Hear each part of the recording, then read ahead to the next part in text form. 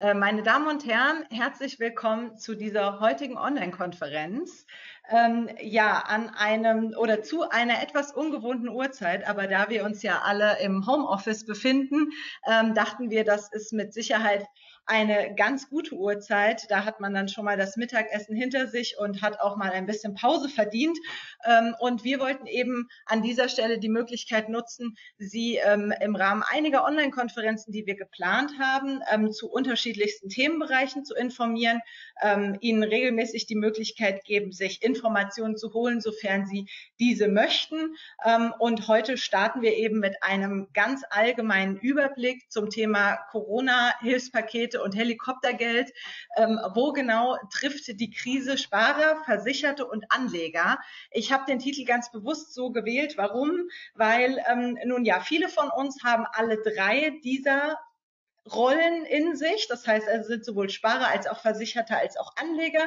Es gibt ja aber vielleicht durchaus auch den einen, die andere von uns, ähm, die sich aktuell noch nicht mit allen drei Rollen identifizieren können. Und deswegen heute das Ziel dieser Online-Konferenz mal einen groben Überblick zu geben, das Ganze strukturiert zu machen, so dass Sie ähm, am Ende dieser Online-Konferenz einen ganz guten Überblick haben und für Ihre jeweiligen Rollen das Wichtigste mitnehmen konnten.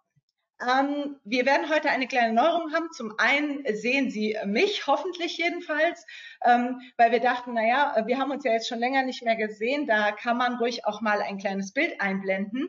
Und zum anderen werden der Herr Leichtweiß und ich das heute mal im Tandem versuchen. Ähm, da haben wir gerade schon ein bisschen Tücken der Technik gehabt, aber ich hoffe, es funktioniert. Dementsprechend ähm, ja, würde ich jetzt auch an den Christoph Leichtweiß übergeben und ihn bitten, uns zum Start einfach mal ein ganz kurzes, ja, einen ganz kurzen Überblick zu geben zu den Marktentwicklungen, aber vor allem auch einen Ausblick zu geben, was genau bedeutet das eigentlich ähm, und welche, welche Implikationen so ganz generell von der Marktseite kann man mitnehmen auf Basis der Entwicklung der letzten Wochen.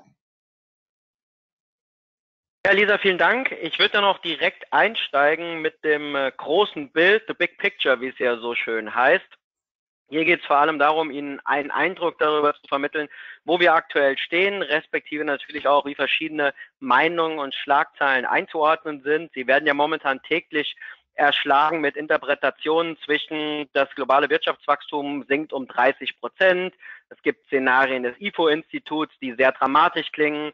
Der Präsident einer lokalen Notenbank in den USA hat sich geäußert und sieht eine zweistellige Millionenanzahl von neuen Arbeitslosen. Also sprich, man versucht sich momentan in verschiedenen Szenarien, die Lage ist schwer abzugreifen und ich möchte an der Stelle versuchen, das vielleicht ein bisschen einzudampfen auf die wesentlichen Themen, auf die man sich vielleicht aktuell konzentrieren sollte.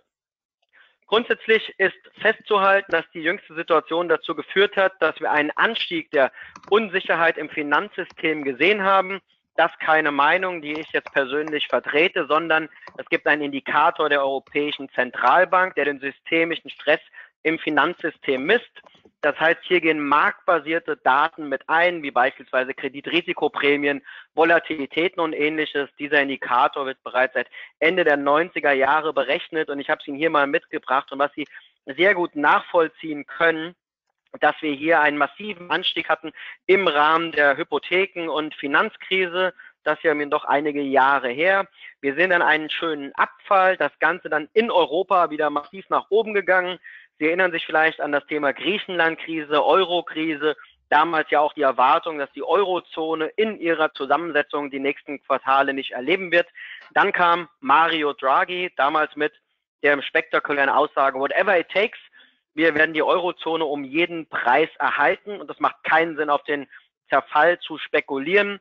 Und man hat damals alle Probleme letztendlich in Liquidität ersoffen und am Ende des Tages auch einen brutalen Anlagenotstand produziert der sich natürlich zum einen in niedrigen Zinsen, aber natürlich auch in äh, gefallenen Kapitalmarktrenditen widerspiegelt, was beispielsweise auch die Refinanzierungskosten für Immobilienkredite und ähnliches auf unvorstellbare ähm, niedrige Level nach unten katapultiert hat.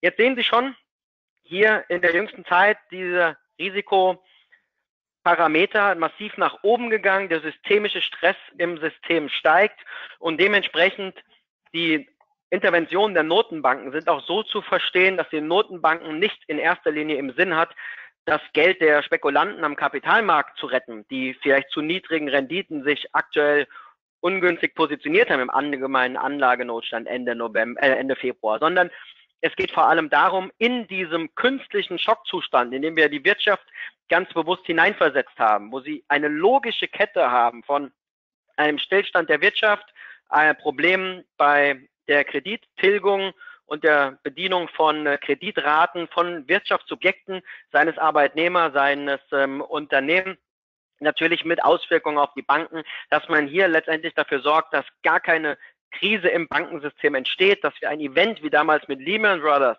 was ja ein systemischer Schock für das Finanzsystem war, von vornherein begegnet. Und deswegen viele dieser Notenbankmaßnahmen, die wirken natürlich sehr direkt auch auf das Bankensystem. Die sollen die Unsicherheit gar nicht erst entstehen lassen und dementsprechend auch dafür sorgen, dass die Banken ihre volkswirtschaftliche Aufgabe erfüllen können, also hier entsprechend auch Kredite an äh, die Wirtschaften zu vergeben und hier ihre Funktion auch als Dienstleister für die Realwirtschaft natürlich äh, zu erfüllen. Und dementsprechend, wenn Sie die Summen sehen, die die Notenbanken bewegen, dann äh, sind die natürlich deswegen so hoch, weil auch dieser Stillstand der Wirtschaft natürlich ein Phänomen ist, was nicht nur einzelne Segmente trifft, sondern die Wirtschaft insgesamt natürlich hier stark belastet. Grundsätzlich wir kennen das schon, die Zentralbanken als Geldgeber der letzten Instanz. Das haben wir im Rahmen der Euro- und Staatsschuldenkrise schon mehrfach natürlich auch gesehen. Aber ich glaube, was jetzt ähm, heute viel wichtiger ist, ist der Sachverhalt, dass wir nicht nur diesen Länder of Last Resort haben, also diesen ultimativen Kreditgeber, der die Notenbank letztendlich hier symbolisiert, sondern natürlich auch ganz klar in dieser gewollten, in dieser gezielten Rezession, die wir momentan sehen, hier den Staat als Arbeitgeber der letzten Instanz, der letztendlich hier die Arbeitgeberfunktion erfüllt, natürlich nur in monetärer Hinsicht, vielleicht sogar auch in faktischer Hinsicht. Da sind wir beim Thema Verstaatlichung oder Teilverstaatlichung. Und dementsprechend in der aktuellen Situation haben Sie ein Hand in Hand von fiskalpolitischen Maßnahmen plus Notenbankinterventionen, um, wie gesagt, diese jetzige Situation zu überbrücken. Weil das muss auch klar sein, Sie werden in den nächsten Wochen nur sehr bescheidene Wirtschaftsdaten sehen. Es muss klar sein, wenn Sie sich die Analogie eines Autos vorstellen und wir lassen das Benzin aus Ihrem Tank ab, dann werden Sie mit dem Auto nicht mehr weit fahren können. Und dazu brauchen Sie kein Volkswirt sein. Und genau das sehen wir nämlich aktuell eben auch ähm, an den Konjunkturdaten, ob das die Einkaufsmanager-Indizes sind, ob das Umfragen des IFO-Institutes sind, ob es ZEW-Umfragen sind, egal ob Sie das in Deutschland tun oder in anderen Ländern der Welt, überall führt natürlich dieser gewünschte Lockdown diese Reduktion der Ansteckungsrisiken, die man hier vornimmt, unter dem Stichwort Flatten the Curve, dazu, dass wir extrem schlechte wirtschaftliche Aussichten haben. Das nicht überraschend, sondern als bewusste Inkaufnahme, um hier eine Überstressung des äh, Gesundheitssystems zu verhindern. Ich glaube, wir werden relativ zeitnah eine Anpassung dieser Maßnahmen sehen, weil ich glaube, es ist auch offensichtlich, wenn der Staat die Wirtschaft in eine Quarantäne zwingt, dann muss derjenige, der im Endeffekt hier die Musik bestellt hat, der muss sie auch bezahlen. Und die Staaten können sich das natürlich zu einem gewissen Maß leisten. Wir sehen die Unterstützungsmaßnahmen durch die Notenbank. Aber tendenziell ist uns jedem auch klar, jeder Monat, in der die Wirtschaft in dieser künstlichen Schockstarre, respektive dieser stabilen Seitenlage verharrt, der kostet natürlich unheimlich viel Geld. Deutschland kann das gut stemmen. Wir sind ein super Schuldner. Die Staatsverschuldung liegt bei unter 60 Prozent der Wirtschaftsleistung. Wir bekommen Geld am Kapitalmarkt über 30 Jahre zu einem Prozent. Kein Problem. Aber denken Sie an Länder wie Italien. Man ist dort seit 20 Jahren in einem Schrumpfungsprozess. Sie haben eine überalterte Gesellschaft. Sie haben populistische Strömungen. Sie haben extreme Divergenzen zwischen dem gesunden Norden und dem wirtschaftlich schwachen Süden.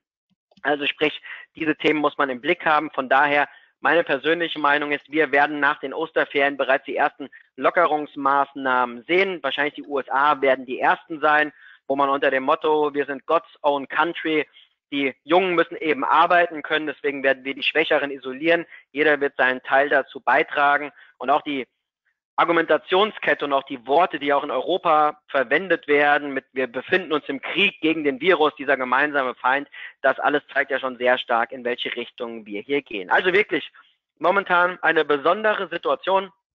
Zentralbanken als Geldgeber der letzten Instanz, Die sorgen dafür, dass das Finanzsystem stabil bleibt. Staaten als Arbeitgeber der letzten Instanz, die versuchen, die gesellschaftlichen Auswirkungen zu kletten. Aber auch hier machen wir uns nichts vor. Sie können natürlich die negativen Aspekte mildern, aber wir werden natürlich massive wirtschaftliche Verwerfungen haben. Kernfrage ist nur, wie lange die dauern und inwieweit die verschiedenen Marktteilnehmer hier wirklich auch Unterstützung bekommen, inwieweit hier Geld ankommt. Also das momentan nicht wirklich absehbar und dementsprechend auch die Bewegungen an den Aktienmärkten sind auch so einzuordnen, dass an der Börse ja dieser Preisfindungsprozess äh, stattfindet. Es gibt hier keine übergeordnete Instanz, die festlegt, welche Aktie wann fair gepreist ist, sondern ähm, das natürlich dieser Mechanismus und auch hier nochmal vielleicht diese Preisfindungsthematik, wenn Sie eine Anleihe haben ein, von einem Unternehmen, die eine Milliarde Euro Volumen aufweist und jetzt werden 50 Millionen davon gehandelt, also fünf Prozent, dann bestimmen diese fünf Prozent des Marktvolumens natürlich auch den Preis.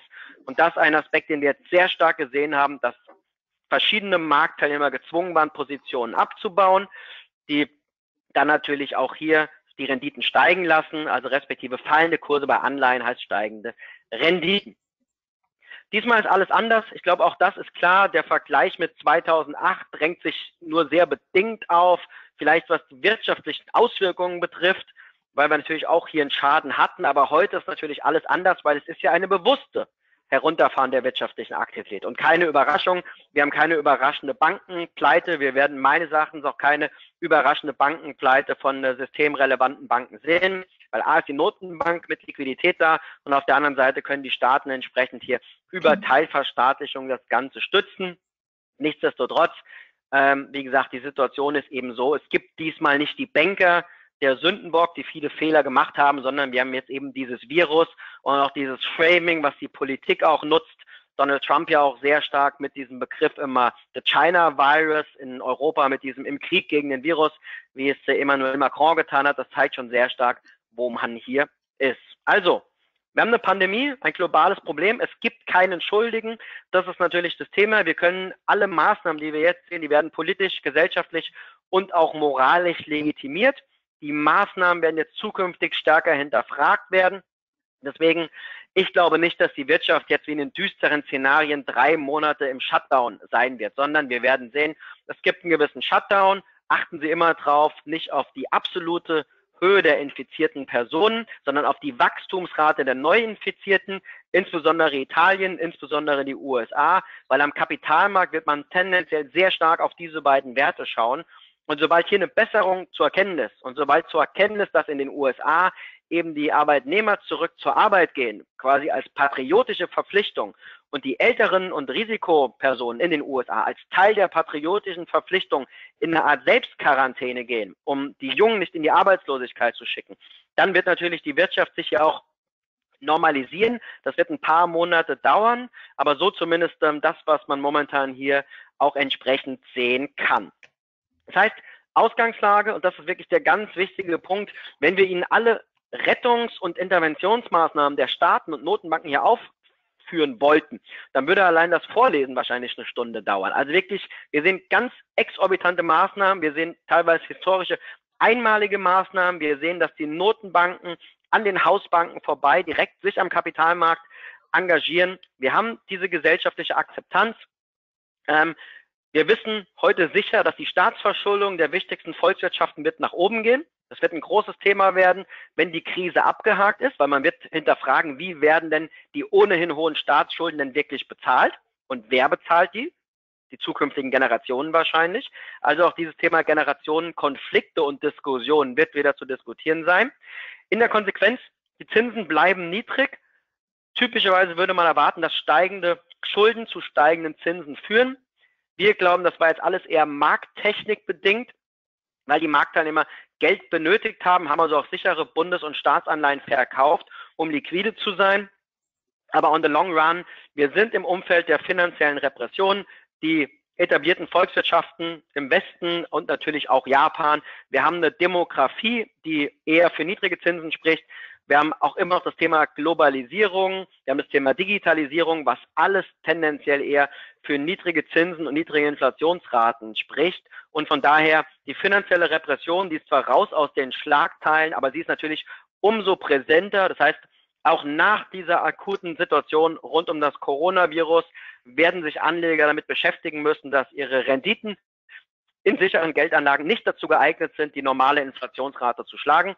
Noch dazu jetzt natürlich, Frau Hassenthal wird das nochmal ein bisschen äh, weiter dann kurz erläutern. Insgesamt steigt natürlich auch das Risiko einer steigenden Inflation, sofern eine steigende Nachfrage nach der Krise auf ein geringeres Angebot von äh, Gütern und Dienstleistungen trifft. Einfach aufgrund des Sachverhaltes, dass die Produktionsketten hier natürlich äh, mit einem Nachlauf erst wieder auf äh, volle Aktivität zurück sind. Insbesondere in Deutschland stellt man sich ja immer die Frage, wer und zahlt denn die Schulden wann zurück und wie soll das gehen? Also im Gegensatz zu Ihnen, die Ihren Kredit für Ihre Firma wirklich auch zurückbezahlen müssen oder wenn Sie einen Immobilienkredit zurückführen müssen, im Staatenbank-, Notenbanksystem wird das anders laufen. Wir sehen das ja bereits seit der Finanzkrise. Die Unternehmen, sorry, die Staaten begeben Staatsanleihen, also nehmen Geld am Kapitalmarkt auf. Notenbanken kaufen diese auf, parken die bei sich mit äh, frisch produziertem Geld. Denken Sie dran, wir sind in einem Kreditgeldsystem, das nicht mal an den Goldpreis äh, oder an Gold entsprechend gekoppelt ist. Ähm, die Zinsen, die der Staat dann an die Notenbank zahlt, schüttet die Notenbank wieder an den nationalen Haushalt aus. Und so haben sie einfach diesen, diesen Kreislauf. Und ich kann mir sehr gut vorstellen, dass wir in einigen Jahren darüber diskutieren, dass wir Teile der Staatsverschuldung, die in Form von Anleihen bei der Notenbank geparkt werden, die wird man einfach erlassen.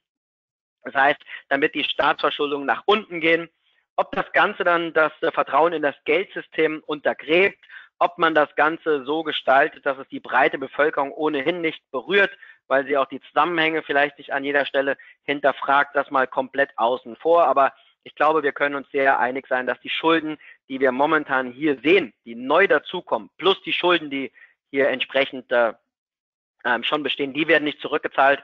An der Stelle sei auch erwähnt, Deutschland hat ja auch in dem Boom seit der Finanzkrise auch nicht wirklich Schulden zurückgeführt.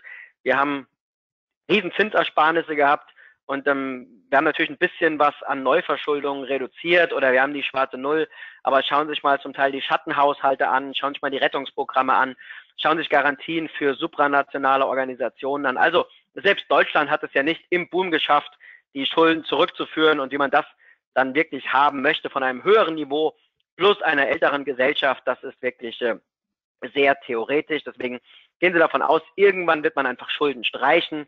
Und das werden tendenziell wahrscheinlich Schulden in Form dessen sein, die in Form von Staatsanleihen bei der jeweiligen Notenbank geparkt werden. Das wird ein global konzertiertes Thema sein. Das wird ähm, ähm, respektive hier natürlich auch ein einheitlicher Prozess sein.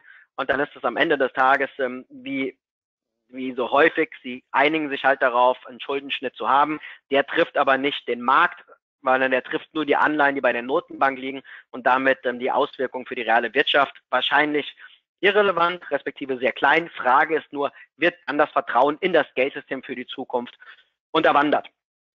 Kommen wir kurz zu Marktbewegungen und Perspektiven.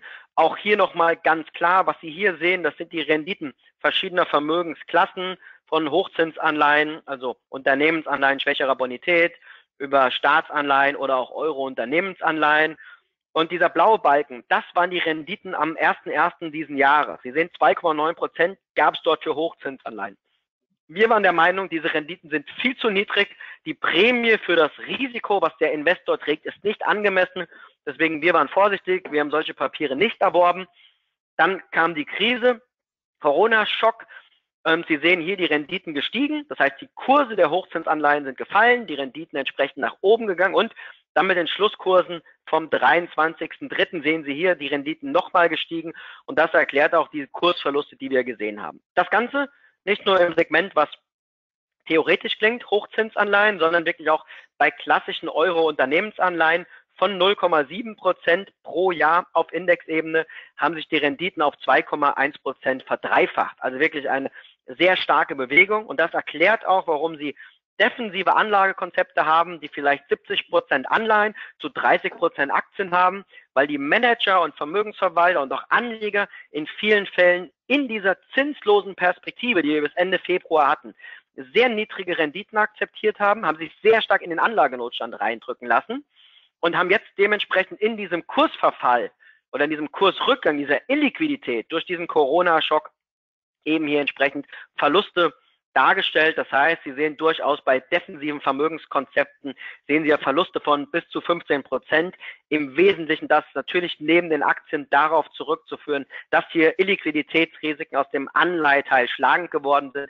Also selbst kurzfristige Anleihen von KfW und Bund und ähnliches, die haben ja hier Kursverluste gesehen und dementsprechend auch der Blick hier in die Portfolios immer ein wichtig.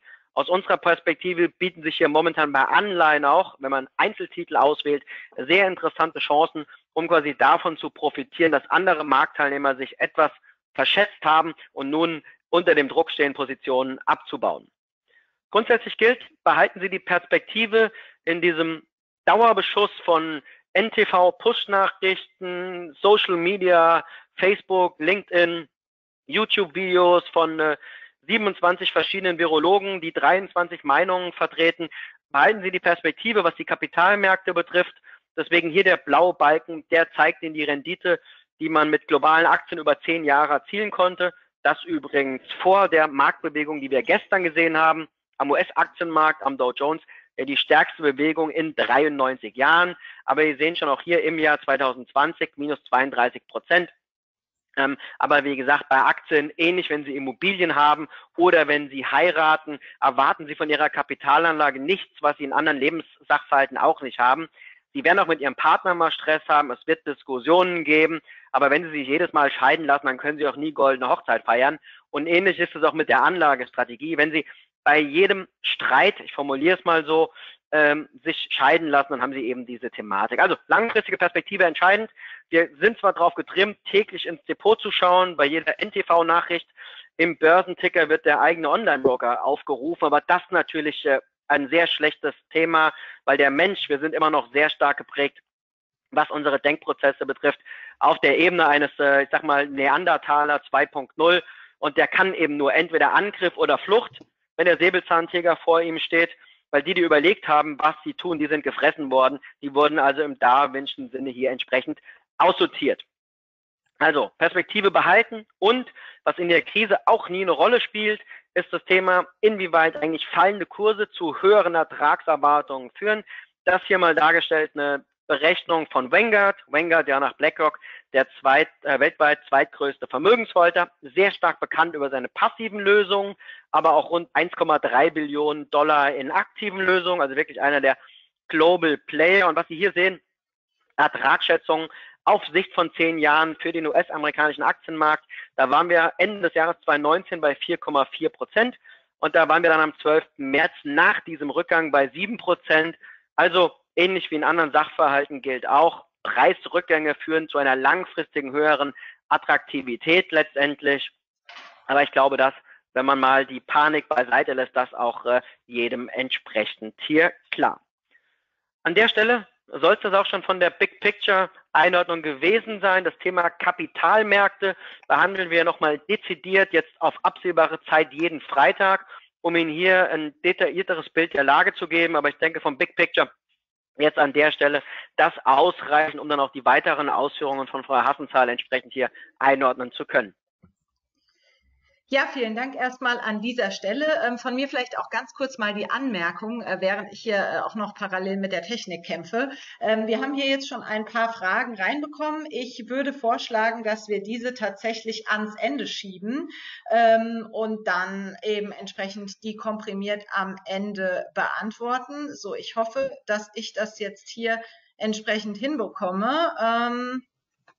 Ansonsten müsstest du mich sozusagen assistieren. Aber ich glaube, ich habe das Feld gefunden. Ich müsste es nur irgendwie auch aktivieren können. Das ist tatsächlich ähm, nicht möglich. Ich schaue auch noch mal. Das ist die Steuerung. So.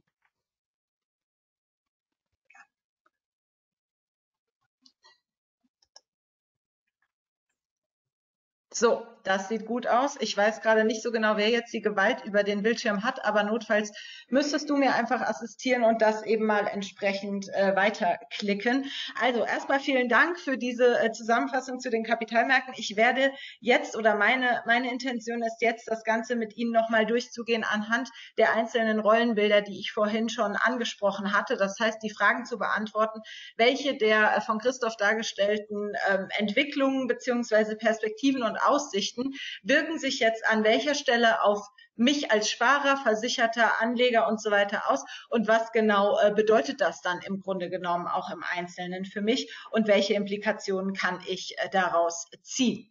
So, ähm, ah ja, ich merke, ich habe die Gewalt. Das ist schon mal sehr gut. Also, ähm, erster wichtiger Zusammenhang, insbesondere für den Sparer, ist ein Zusammenhang, ähm, viele von Ihnen kennen den mit Sicherheit auch, weil wir den seit Jahren predigen.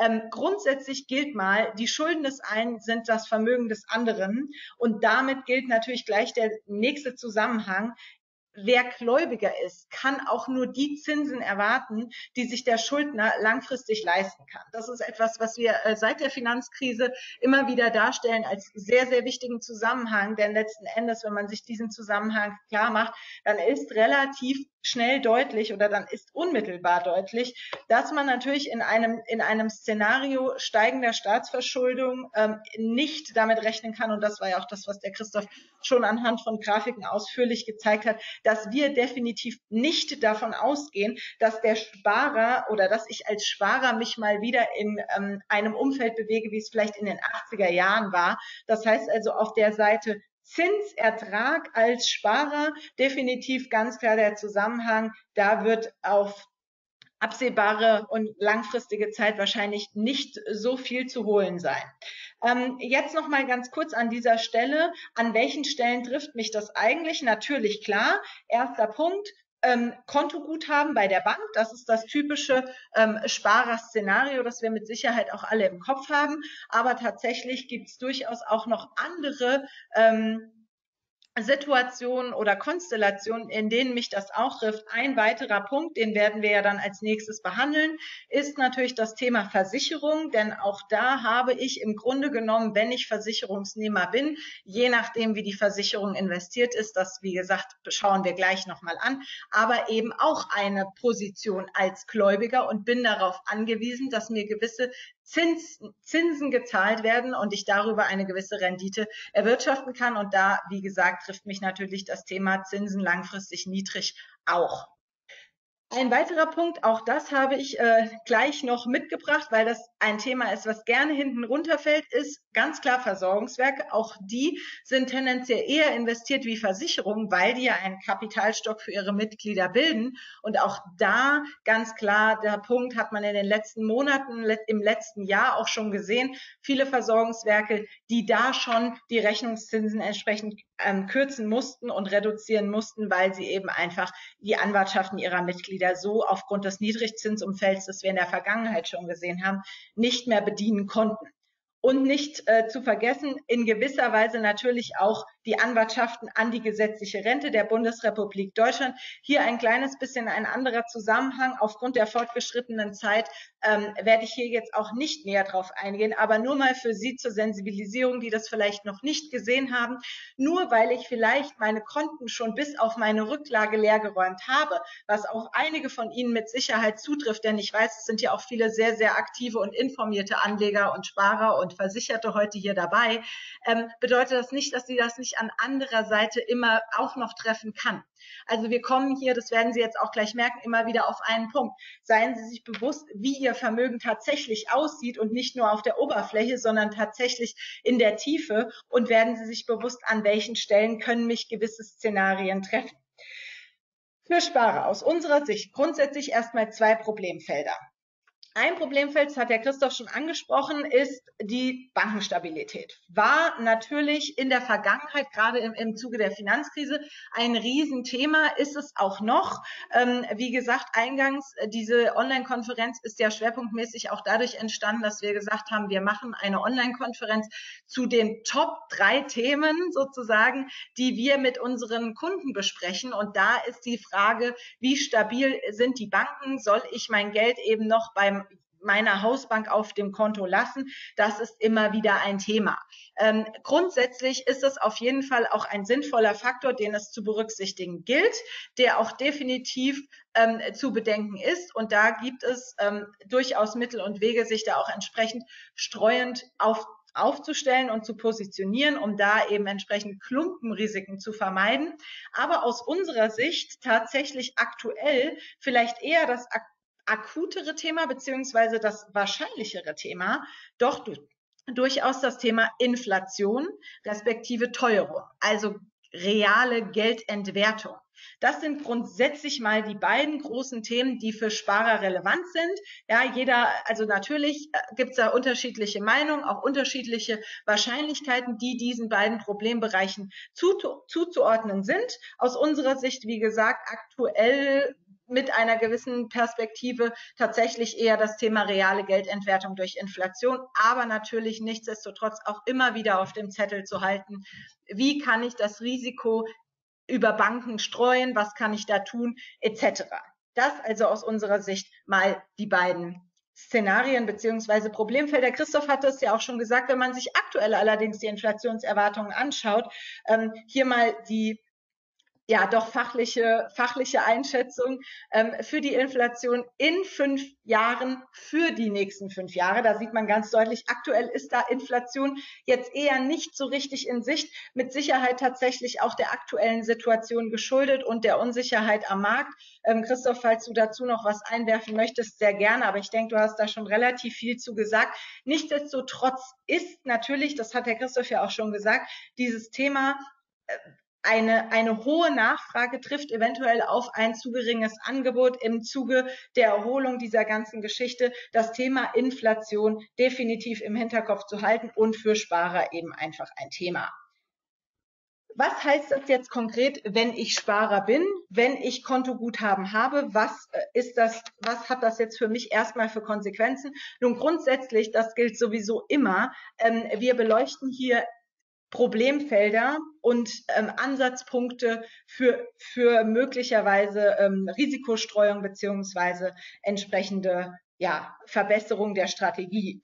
Ähm, das bedeutet nicht, dass das Thema Kontoguthaben vollständig aufzulösen ist. Denn grundsätzlich muss man natürlich sagen, eine Abkehr von Kontoguthaben ist selbstverständlich nicht möglich, da diese einfach die Funktion der Rücklage erfüllen. Und ähm, da denke ich, ist das auch absolut unbestritten. Es gibt für eine kurzfristige Rücklage auch keine Alternative zu Kontoguthaben. Zum Thema Zinsen werden langfristig niedrig bleiben, brauche ich nicht mehr viel zu sagen. Und das Thema Inflation könnte verstärkt ein Thema werden und trifft Spareinlagen eben einfach unmittelbar, weil es ist eine unmittelbare Entwertung der Kaufkraft. Das äh, hatte ich bereits gesagt. Das heißt, das bis zu diesem Punkt mal ähm, von der Seite und dann natürlich, auch das hatte ich eben schon mal angesprochen, das ganze Thema Bankenstabilität, Einlagensicherung und so weiter, sozusagen die zweite Flanke für Sparer, der man sich bewusst sein sollte und an der man durchaus arbeiten kann. Ich habe hier mal die ähm, häufigsten Gedanken beziehungsweise die aus meiner Sicht wichtigsten Themen dazu aufgeschrieben. Ähm, eben dieses Thema, ich streue einfach mal ganz ähm, einfach gesagt über mehrere Banken. Vielleicht schaue ich mir auch an, gibt es verschiedene Einlagensicherungssysteme. Damit meine ich jetzt auch nicht Banken im Ausland, sondern damit meine ich eben einfach den Unterschied zwischen privaten Geschäftsbanken, Volksbanken, Sparkassen und so weiter. Wobei auch da natürlich muss man sich am Ende im Klaren sein, alle haben im Grunde genommen den gleichen Basismarkt und das ist der Euro-Anleihemarkt. Das heißt, da ist auch die Frage, inwieweit kann da eine Streuung wirklich stattfinden und so weiter und so weiter. Ähm, hier ganz klar der Verweis, diejenigen unter Ihnen, die jetzt sagen, okay, also das ist für mich wirklich ein hochgradig relevantes Thema. Diese beiden Problemfelder würde ich gerne nochmal näher beleuchten. Da ganz klar der Hinweis, da das aktuell ein unglaublich viel gefragtes Thema ist, gibt es hierzu analog dieser Konferenz eine eigene Themenkonferenz am kommenden Montag, wo wir nur auf dieses Thema eingehen werden. Deswegen springen wir jetzt weiter zum Thema Versicherte. Was gibt es da zu sagen? Grundsätzlich erstmal ganz wichtig, auch das ist vielen von Ihnen mit Sicherheit schon klar. Eine Versicherung ist erstmal ausschließlich eine Verpackung. Das heißt also, wir haben, wenn jemand sagt, ich habe Versicherung, erstmal keinerlei Informationen darüber, inwiefern das aktuelle Umfeld einen da jetzt getroffen hat.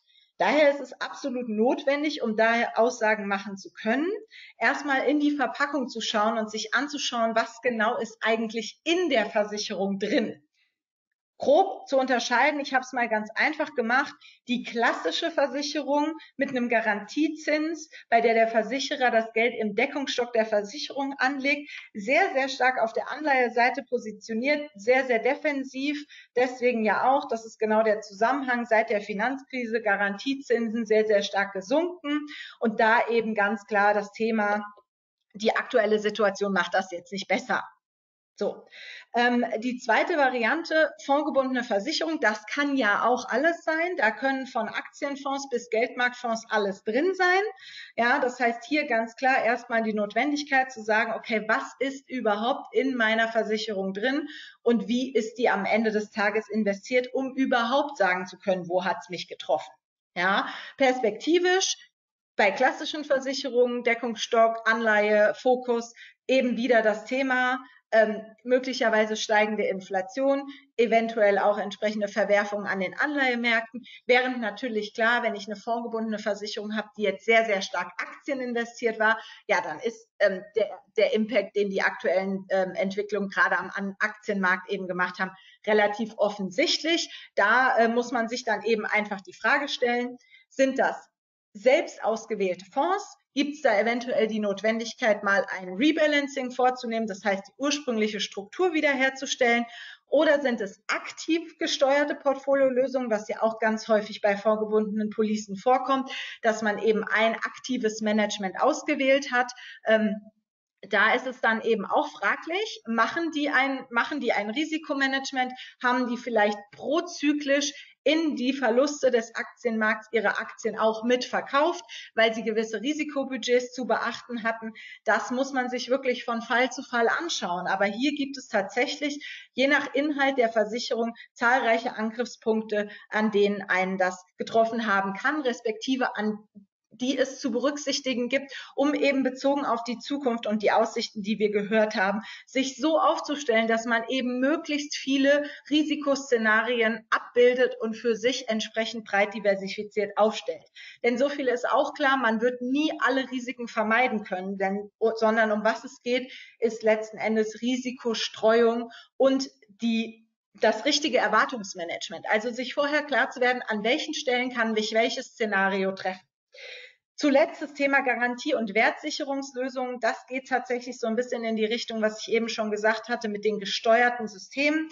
Da ist einfach der Punkt, ähm, gerade die Versicherungskonstrukte, die sei es aus gesetzlicher Notwendigkeit oder weil ich das als Versicherer aktiv so ausgewählt habe, mir eine gewisse Beitragsgarantie stellen müssen, haben natürlich die Herausforderung in einem solchen Szenario aus den sehr, sehr schwankungsreichen Aktien mit hohen Verlusten herauszugehen in die schwankungsarmen Anleihen, da prozyklisch zu verkaufen, um einfach sicherzugehen, dass diese Beitragsgarantie gestellt werden kann.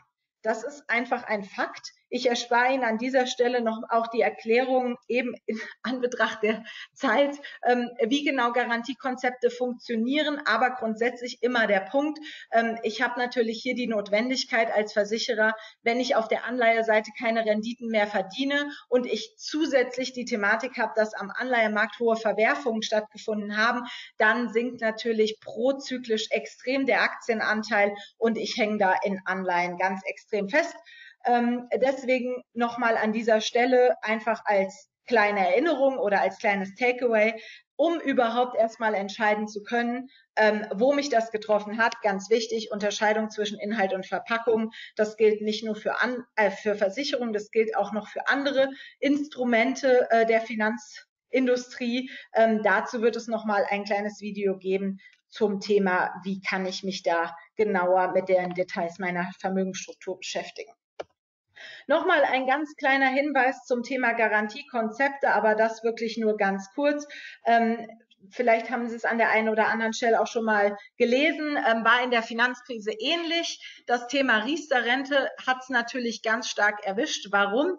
Weil es einfach aufgrund der gesetzlichen ähm, Vorgaben eine Beitragsgarantie geben muss in der Riester-Rente. Und da ist jetzt im großen Stil genau das passiert, was ich eben angesprochen hatte, nämlich Aktienanteile wurden prozyklisch mit Verlusten verkauft und umgeschichtet in Anleihen. Ähm, da also im Grunde genommen muss man sagen, das soll überhaupt keine Kritik an den Versicherern sein, im Gegenteil, denn die haben gar keine andere Wahl.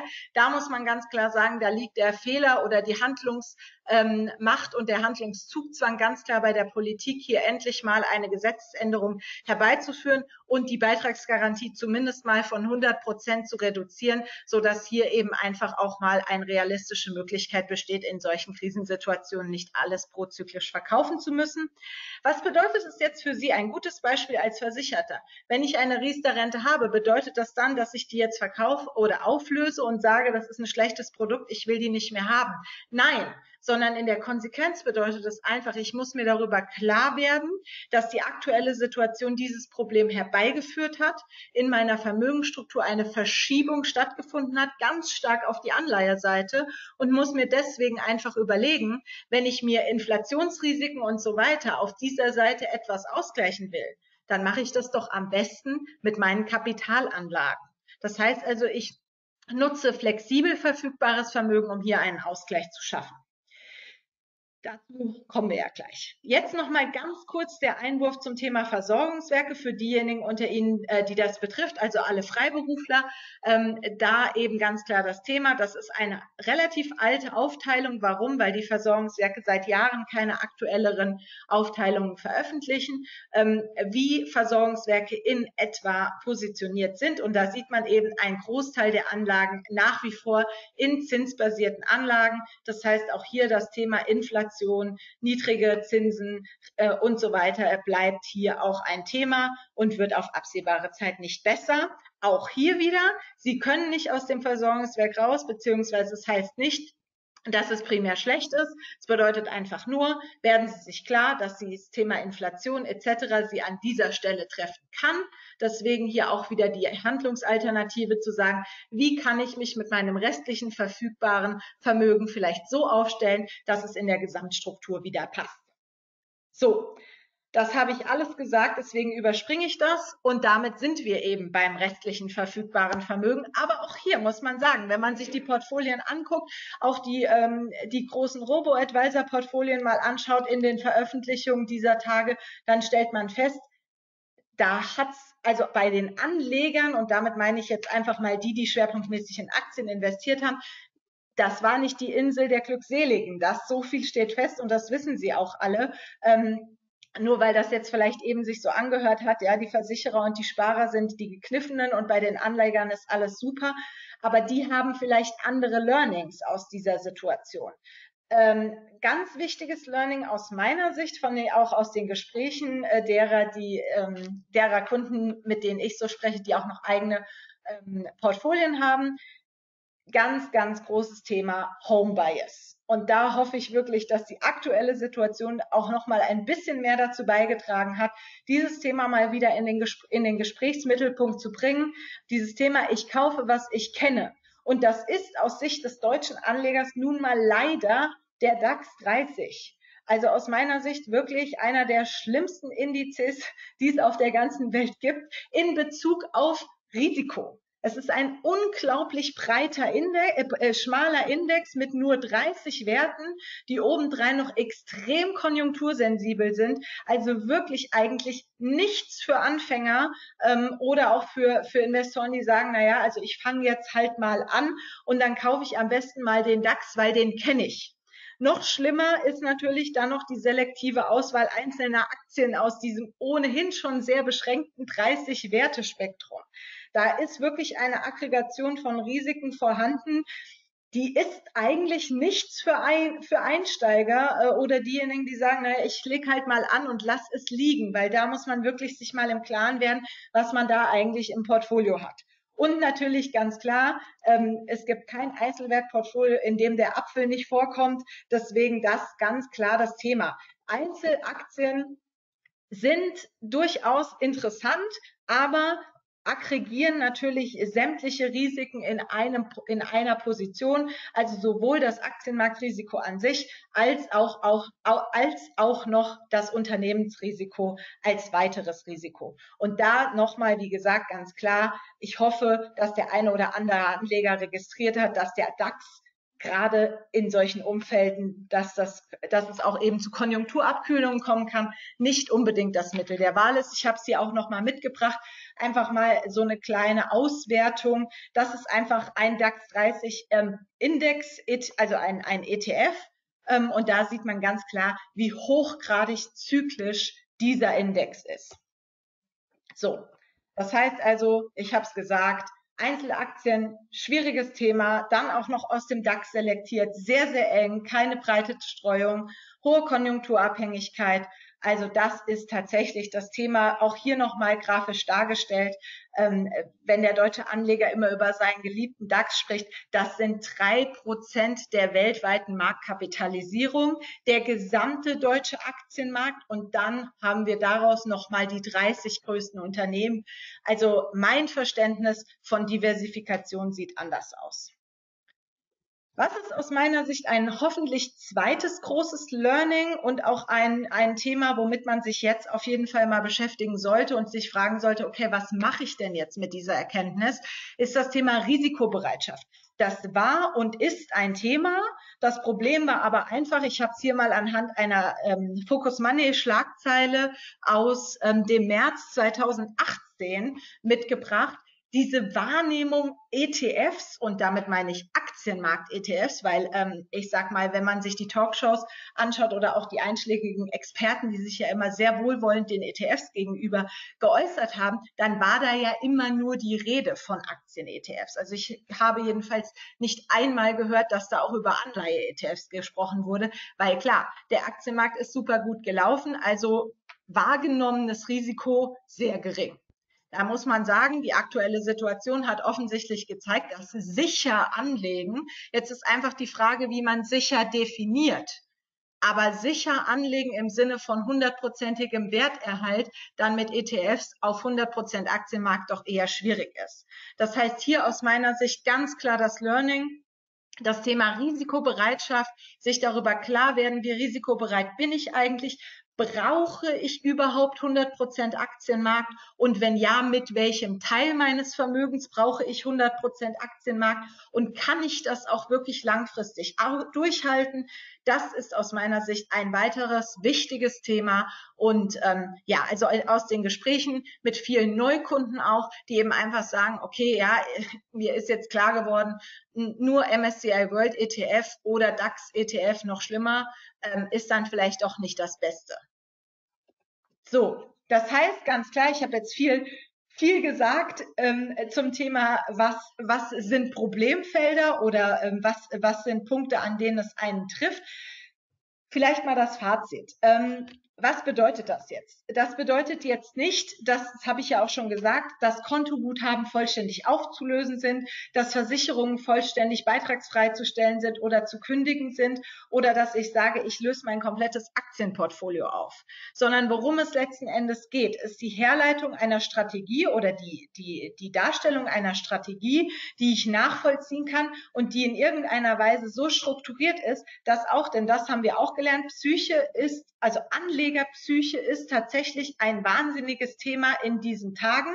Ja, hatten wir lange nicht in diesem Maße, ist aber einfach unfassbar wichtig, dass ich eben einfach auch von der psychologischen Seite her in der Lage bin, diszipliniert durch diese Zeit hindurchzugehen und zu sagen, ich behalte das bei. Und da muss man ganz klar sagen, wenn ich nicht weiß, wie es kommt, ob Inflation kommt, ob die Bankenstabilität 100 Prozent gewährleistet ist, ob der Aktienmarkt vielleicht noch weiter runtergeht oder steigt, steigt oder wie auch immer. Ich weiß es nicht. Aber was ich tun kann. Ich kann mir meine aktuelle Vermögensstruktur ganz genau anschauen und kann mir anschauen, wie ist die verteilt. Und wenn ich eben feststelle, ich habe extrem viel Risiken auf der Zinsseite, die von Inflation betroffen wäre, die eventuell von der Bankeninstabilität, von der Euroinstabilität oder wie auch immer betroffen ist, dann könnte ich möglicherweise auf die Idee kommen, mal einen gewissen Teil des Vermögens zu nutzen, um da ein Gegengewicht aufzustellen. Und umgekehrt im Übrigen genauso auch diejenigen, die wirklich 100 Prozent im Aktienmarkt unterwegs waren und die in den letzten Jahren wirklich ja von einem Hoch zum anderen gelaufen sind, die haben jetzt Verluste real oder Verluste erlitten. Da muss man erstmal, die muss man erstmal wieder aufholen. Ähm, und da ist, wäre vielleicht auch der Ratschlag zu sagen, naja, man muss nicht nach oben das letzte Prozent ausquetschen, wenn man nach unten die Verluste mal minimiert, indem man auch hier vielleicht mal ein bisschen streut, ähm, dann doch ein ganz guter Ratschlag. Das heißt zusammengefasst, wenn ich nicht weiß, wie es kommt, dann stelle ich mich doch einfach neutral auf und im Optimalfall in so vielen Szenarien wie möglich. So, jetzt habe ich unglaublich lange geredet, aber ich habe äh, wirklich versucht, mich kurz zu fassen. Ähm, ein wichtiger Punkt, den wir noch mit reingenommen haben, aber gar nicht großartig Inhalt, ist das Thema Gold. Warum? Weil das auch aktuell wahnsinnig oft in Gesprächen vorkommt. Ich habe mal so ein, ja, gekürztes Zitat hier aufgeführt, ich kaufe Gold, das hilft gegen systemische Risiken und schützt vor Inflation. Grundsätzlich ein ganz guter Gedanke. Ähm, ich würde mal Christoph äh, dazu befragen wollen, was äh, du dazu sagst, während ich hier parallel mal nach den Fragen schaue, ähm, weil Gold natürlich immer wieder ein Thema, ein abendfüllendes Thema im Übrigen. Also sofern von Ihrer Seite da Interesse besteht, sicherlich von unserer Seite auch die Möglichkeit, da nochmal ein extra, eine extra Online-Konferenz zu machen, aber vielleicht mal ganz kurz an dieser Stelle. Also in Anbetracht der äh, fortgeschrittenen Zeit, aber es ist ja auch äh, viel passiert, vielleicht das Wesentliche. Also aus unserer Perspektive ist physisches Gold ein elementarer Teil der Vermögensstruktur. Dementsprechend äh, eine strategische Position wird auch nicht besonders hinterfragt. Im aktuellen Umfeld kann man natürlich überlegen, das ähm, taktisch noch etwas ähm, nach oben zu ziehen. Aber auch hier gilt natürlich, das haben wir jetzt auch äh, dementsprechend gesehen, wenn wir ein Umfeld haben, wo Liquidität knapp ist, wo aus Bundesanleihen, aus US-Staatsanleihen, aus Pfandbriefen Liquidität hinausgeht, dann ist Gold äh, von so einer Situation auch betroffen. Von daher, Gold ist mit Sicherheit ein Teil der Anlagestrategie. Der Investment Case, die Begründungen für Gold sind natürlich aufgrund der massiven Interventionen der Notenbanken und der Staaten natürlich relativ plausibel. Problem ist immer, wenn etwas zu plausibel ist, stellt sich die Frage, ob es nicht schon im Preis bereits enthalten ist. Also von daher ähm, Gold elementarer Teil der Vermögensstruktur, aber auch hier gilt, die Dosis macht das Gift. Goldquoten, die teilweise dann auf 25, 30 Prozent gehoben werden aus Angst vor Bankenpleiten, das sehen wir nicht, weil auch hier gilt, Gold hat ungefähr die Schwankungsbreite wie der Aktienmarkt. Das heißt, Gold zu vergleichen mit einer Kasse, mit einem Bankguthaben, ist nicht zielführend, weil beides erzielt zwar keine laufenden Zinsen, aber die Schwankung eines Kontos ist bei Null. Die Schwankung von Gold liegt auf Höhe vom Aktienmarkt. Das heißt, eigentlich muss man die Rendite-Risiko-Relation von Gold mit einem global gestreuten Portfolio vergleichen. Und dann stellt man eben in vielen Fällen fest, dass das global gestreute Portfolio beispielsweise auf den Denküberlegungen, die Frau Hassenzahl hier skizziert hat, sich eben neutral zu positionieren und dann innerhalb der beiden übergeordneten Vermögensklassen Geld und Sachwerte sehr breit diversifiziert anzulegen. Aus unserer Sicht die cleverere Alternative, als jetzt hier extrem Übergewichte in Gold entsprechend aufzubauen. Zu, zumal an dieser Stelle ja auch noch anzumerken ist, die Frage ist, du hast es jetzt gesagt, physische Goldquote, das ist dann tatsächlich das systemische Risiko und die Absicherung gegen Extremrisiken. Ähm, hier ja ganz klar auch der Punkt, die Frage, die sich stellt, zu welchem Zweck kaufe ich Gold, weil danach richtet sich dann auch das Instrument und das jeweilige Vehikel, das dann einzusetzen ist. Aber natürlich ganz klar, wie du es gesagt hast, ähm, physische Goldquote auf jeden Fall als strategische Absicherung in der Vermögensstruktur relevant, denn das